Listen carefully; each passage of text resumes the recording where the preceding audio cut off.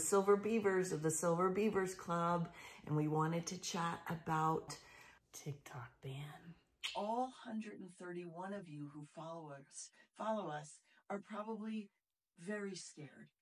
Don't worry, you can hop on over to the Instagram and you can join the 80 people that are already following us there. So there is room for you, is what we're saying. Yes, we have capacity still. We also have the Silver Beavers Club YouTube channel. Now, here's what's very exciting about that.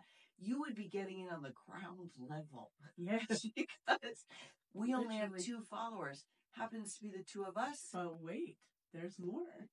Now, the website's important because that's where you'll be able to buy merch. You have Instagram Silver Beavers Club, Facebook Silver Beavers Club, or YouTube YouTube. Silver Beavers Club, and soon to be the website Silver Beavers Club.